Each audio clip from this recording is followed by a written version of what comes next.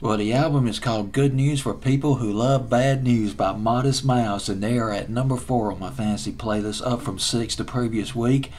Fantasy playlist of July 25th, 2004. Modest Mouse would float on with that brilliant video they did. I, I compare as far as genius goes, I compare this video in a way to Sledgehammer by Peter Gabriel. That song, which came out back in 1986. Modest Mouse. Now I never heard of Modest Mouse before 2003, and they're like Death Cab for Cutie in a way. Death Cab for Cutie, Cutie came out with this big album that was very commercial, but they had about three or four or five albums before they got really big. Such is the case with Modest Mouse. Float On was their most commercially successful single, but they've been around since 1992. They formed in 1992 near Seattle, Washington.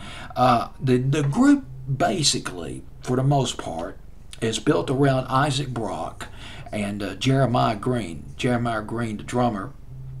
Isaac Brock, originally from Montana, but he moved to Washington when he was 11 years old. Before he moved to Washington, he was living in hippie communes and churches with his mother and his sister before he moved out to the West Coast.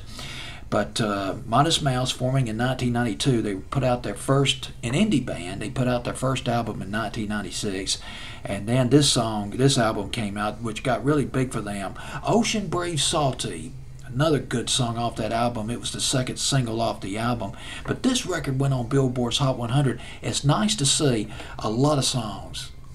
I mean, there are tons of songs, particularly the last 25 years, that did not chart on the top 40, that did not make top 40. Fortunately, this song made it top, made it to the top 40. It debuted on Billboard's Hot 100 at number 70, and it went to number 14 uh, the single was released on February the 14th, Valentine's Day, 2004. And uh, let's see, one other thing. Well, they were influ- they were influenced by Pavement. I remember a video that Pavement did. They played on MTV back in '96. Uh, something about cutting hair. I can't remember the name of it. That was really cool. The Pixies, they were influenced by the Pixies, and of course XTC. Remember the song by XTC, "Dear God," back in 1987. Woo, man, some powerful stuff. The Marrow Simpleton, I believe, was another one they did in '92. But uh, they picked some good influences. That's the bottom line about a Modest Mouse. Uh, interesting. Another interesting thing about this song. Oh, for your music majors, this song is in the key of F sharp major. Float on.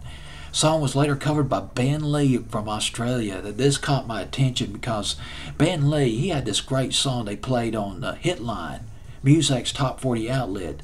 Hitline played this song back in 1998 called Nothing Much Happens, sort of an atmospheric record by Ben Lee. And I just like, oh man, Ben Lee, yes, I love that record that he did.